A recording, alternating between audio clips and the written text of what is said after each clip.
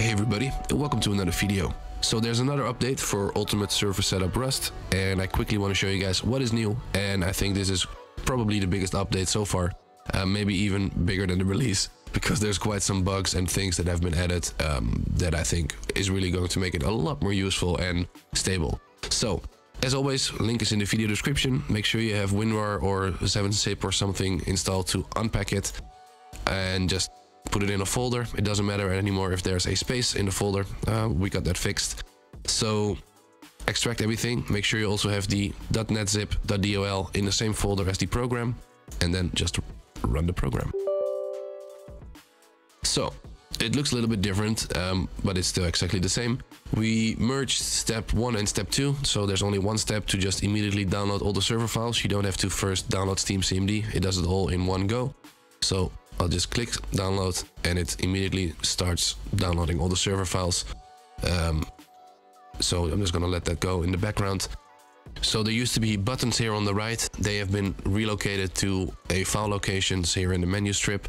And also update server is now under server options. And the idea is that there will be, of course, more and more features under server options. I have some plans, but I don't know what I will be able to realize. So I'm not gonna say anything yet in case I don't know how to fix it. So um, there should be more and more things coming up here. Um, so there used to be a bug that if you had a folder uh, with a space in it in the name, that the program couldn't actually download the right files to the right folder. Uh, so we fixed that, so that's a lot more stable now. So one of the biggest things that I added um, this update is the server variables. And server variables are basically settings you can put at the start uh, in the start file, like uh, many, many, many things. There's a full list here. This is for example, the boar population, uh, bear population, um, if it should generate path, there are so many things you can set. And this link shows all the default values and also the description. So if you don't know what something means or you're looking to do something or set some kind of setting, just go in here and search through this list. Um, you can also just press Control F and for example search for max and you can see all the max values or max steps. There's so many things you can, like 45 things here. Um, so these are all settings you can put. And what I did is if you, for example, search for radiation or type R, it will give you all the things that you can set. And if you click on it and then click select, it will load it up here and load the default value. So you can then change that if you want, for example, radiation off. If you can type, you put false, and then if you edit, it gets added to the list. So I'm just going to put this here and then once you're done and you actually want to use this, just click done and it says locked. So now you cannot click on it and change it anymore.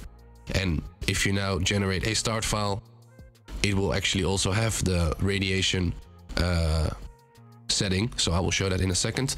Also, what I changed is there used to be a refresh button. Now, when you open up this menu, it just refreshes. So there's no need for a refresh button. So that's also a little bit more uh, convenient. So if I just add another one. When I click the list, it just automatically gets added. So that's also a little bit easier.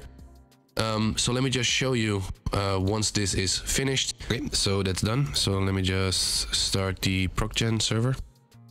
And then when that's done, I will start up my game and try to connect to it.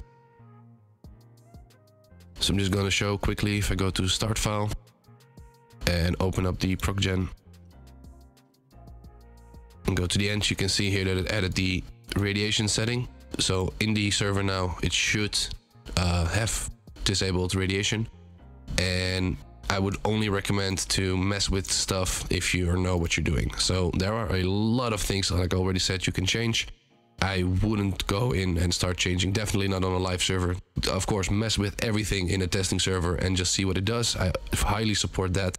But if you don't know what you're doing and you think you know what you're doing, don't put it on a live server before you thoroughly tested it, if it even works, because I don't know if any of these work. And also, by the way, if you go to this list, all the things that I thought, um, for example, day and month uh, are not a startup thing. It's like a uh, comment you can run in the game.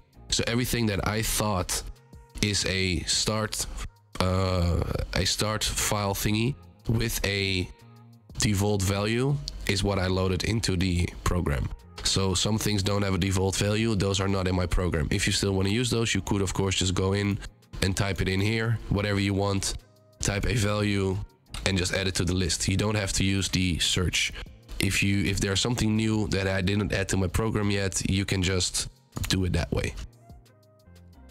I'm sorry in the game. F1 client.connect localhost colon 28015. Okay, so we're in the game. And let's see if there is some radiation. There should be radiation here, right? So radiation is indeed turned off. I think all those little power stations have radiation, right? Pretty sure. But yeah, I'm also pretty sure that it's working. But I just wanna. It would be like the best demonstration if I just go stand in the middle of launch site. Then everybody knows it's fully working. But yeah, trust me. Uh, the radiation I tested and the the script I tested and it's working. So I hope that is helpful as always. And download is in the description. If you have any questions, problems, bugs, feature requests, let me know. Leave a like if it was helpful. Subscribe if you want more like this and keep updated. Um, yeah, stay updated. Thank you for watching. I'm out. Appease. Ah!